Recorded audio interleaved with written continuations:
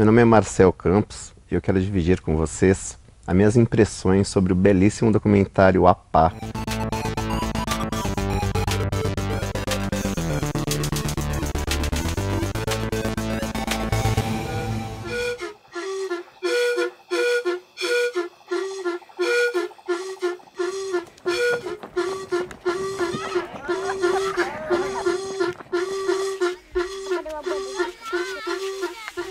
Ele fala dos nossos povos originários, né, um dos nossos povos originários aqui no Brasil, e nos convida a passear pelo Parque Iujá, no Xingu.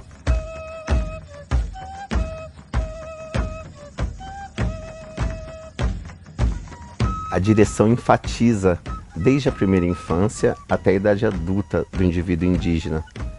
E ele abrange toda uma infância e toda uma vivência passada de indígena para indígena numa comunidade incrivelmente interessante. É um documentário que vale muito a pena assistir por mais de uma vez, justamente por traçar um parâmetro com o homem moderno, né, que tem toda uma dependência da tecnologia e esse povo indígena ele vive da sua maneira é, com recursos naturais e respeitando a natureza.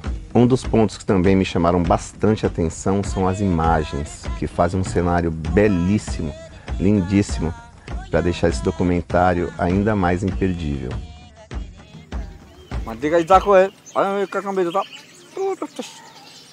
Dentro da medicina, são vários espíritos que cuidam de cada remédio.